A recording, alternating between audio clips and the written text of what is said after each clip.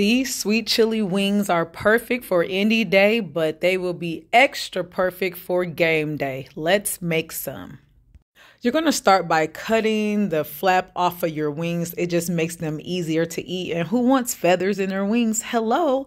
We're going to season these very generously with one tablespoon of salt, some pepper, onion powder, garlic powder. We're also going to throw in a little lemon pepper and also some paprika is going to give them some really nice color and just a tinge of oil.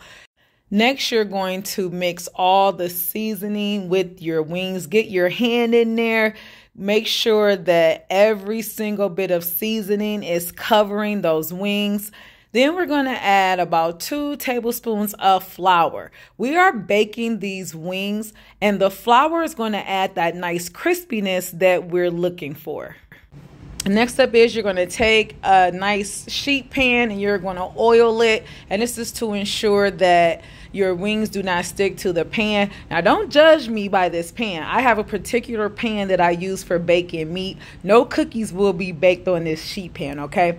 You're going to take your wings and you're going to place them on your pan. You know, make sure you have a nice amount of room in between each wing. So this pan is going to fit 12 wings. We are going to bake these at 375 for approximately 25 minutes. We're going to turn them over halfway through, and this is how they're going to look nice and crispy.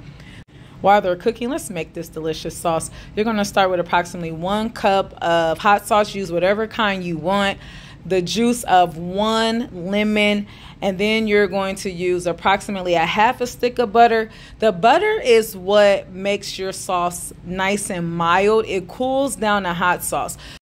The amount of butter that you use is going to be totally dependent on how hot you want your sauce. If you want a hotter sauce, you're going to use less butter. If you want a milder sauce, you're going to use more butter. As a reference, you can start with a half a stick of butter.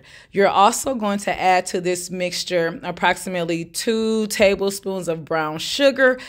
This is going to add that nice sweetness that we love. Now, my sauce is a little too spicy, so I'm going to add a little bit more butter, and then it's going to be ready for the wings. Let's take the wings out, put the wings in a nice bowl, and then we are going to just drown them in that sweet, tangy, spicy sauce. These wings are packed with a lot of flavor and everyone loves them. I prefer my wings to be wet and it don't get no wetter than this. Sweet chili wings, bon appetit, let's eat.